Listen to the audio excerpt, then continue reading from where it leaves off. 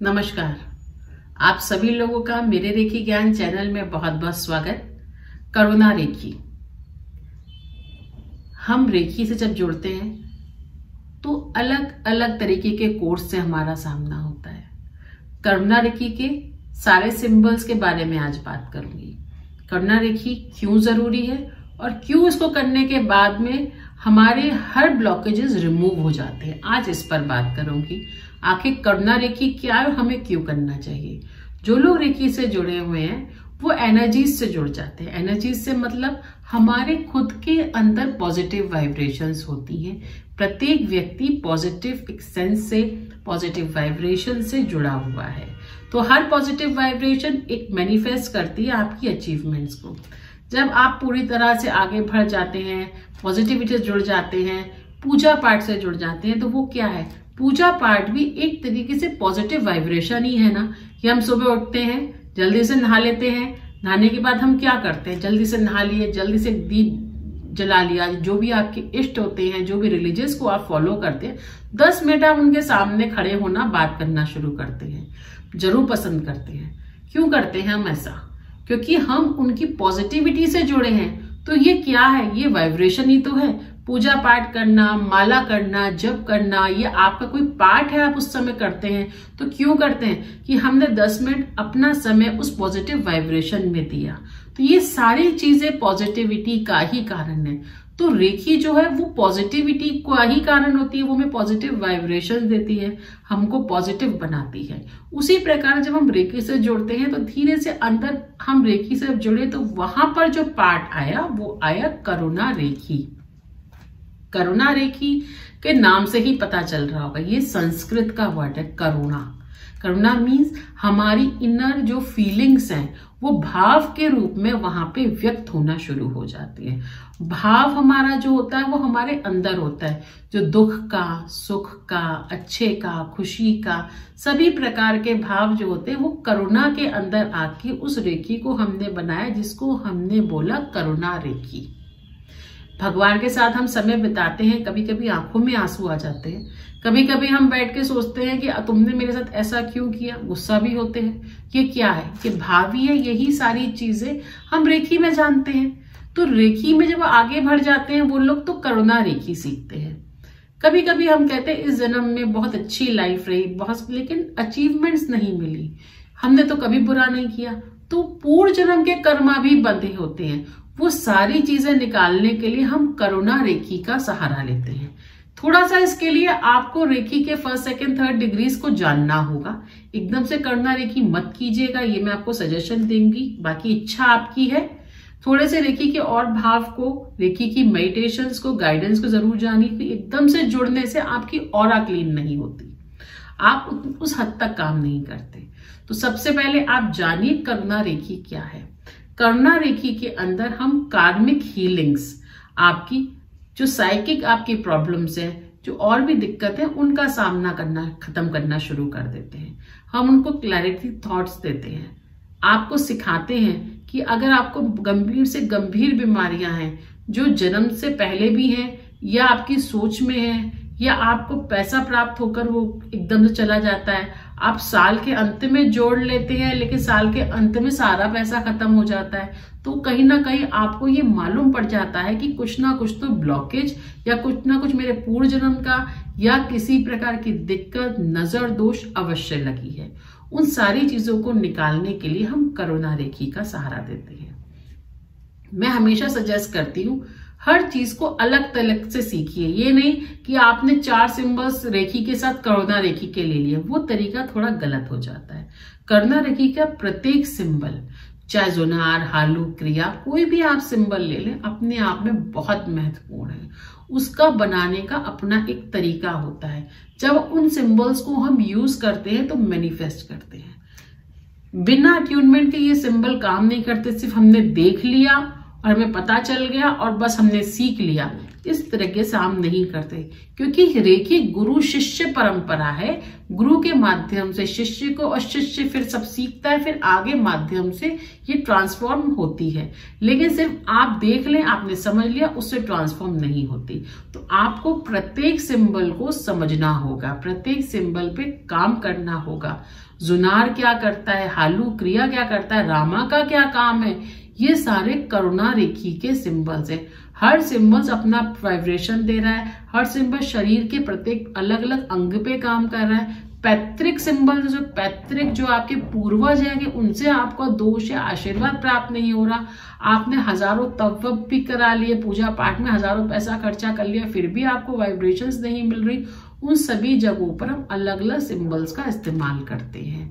Positivity create करते हैं symbols को बनाते हैं सिंबल से पॉजिटिव बनते हैं। और अपने आप को पूरी तरह से संकल्प करके, अपने आप की ऊर्जा शक्ति को बढ़ा के हम एक पवित्रता की तरफ़ आगे बढ़ते हैं। कितने भी गंभीर से गंभीर दोष लगे हों, जो पूजा पाठ के बाद भी खत्म नहीं होते, वो इससे खत्म हो जाते हैं। आखिर क्या जादू है? जादू तो है ही नहीं। ये देखा जाए तो एक साइंस है, हर चीज़। क्योंकि जब आप किसी के दरवाजे पे जाएँ, कभी आप देखेंगे भी इस चीज़ को, आपको यदि किसी से आप नाराज़ हैं, किसी ने आपसे अपशब्द बोल रहे आप बार बार जाइए और सॉरी बोलिए। आप बोलिए सॉरी मुझसे उस दिन गलती होगी फिर किस दिन मिलिए अरे सॉरी मुझसे गलती हो गई। एक बार गुस्सा करेगा, दो बार करेगा, तीन बार करेगा, लेकिन एक दिन लगातार यदि आप इस चीज़ को एक महीने का पार्ट बना लेंगे, एक महीने, डेढ़ महीने तो अंदर बोलेगा, भाई जाओ, छोड़ो, मैंने तुम्हें माफ़ किया। वही चीज़ होती है। हम daily twenty one days forty one days हम आपको वो चीज़ रिपीटेडली कराते हैं। जब आप करते हैं बार बार तो जो आपका ग्रह नक्षत्र वहाँ बना है, वहाँ पे हम बार बार क्लिक करें, उसके दरवाजे को बार बार खटखटा रहे हैं। तो आप वहाँ पे देखेंगे पॉजिटिविटी क्रिएट होना शुरू हो जाती है। करुणा रेखी रेखी के अंदर का ही एक पार्ट है। ये वो लोग करते हैं जिन्हें कार्मिक ब्लॉकेजेस बहुत ज़्यादा होते हैं। कार्मिक ब्लॉकेजेस तो हर व्यक्ति को पता है। कोई ब्लॉकेज कहा है कि भाई हमारे यहाँ तो पूर्वजों से चला आ रहा है, हमारे पहले पीढ़ी में भी यही था और अब भी, और अब भी ये समस्या है। उस तरीके की गंभीर ब्लॉकेजेस को निकालने भी करुणा रेखी काम करती है। मगर इसका शक्तिपात नियमित प्रैक्टिस करना बहुत महत्वपूर्ण है। करुणा रेखी को अगर आपकी बॉडी के अंदर गंभीर कोई बीमारी है, जैसे डायबिटीज़ आपका थायराइड आपके अंदर और कोई लंग्स में कोई और गंभीर बीमारी वो भी रिमूव आप करने में सार्थक हो जाते हैं। लेकिन उसके लिए आपको अत्यधिक मेहनत करनी पड़ती है। अपने माइंड को स्टेबल रखना पड़ता है। जो गाइडलाइंस हम बताते हैं, उसे नियमित रूप से फॉलो भी करना पड़ता है। ऐसे नहीं कि फ़र्स्ट डे किया और कोई मैजिक हो गया। मैजिक कहीं नहीं है। आपका अभ्यास, आपकी तालीम और जो बताए हुए हमारे नियम होते हैं, उनको आपको करुणा रेखी में फॉलो करना होता है। अलग अलग सिंबल्स की वाइब्रेशंस अलग अलग हैं।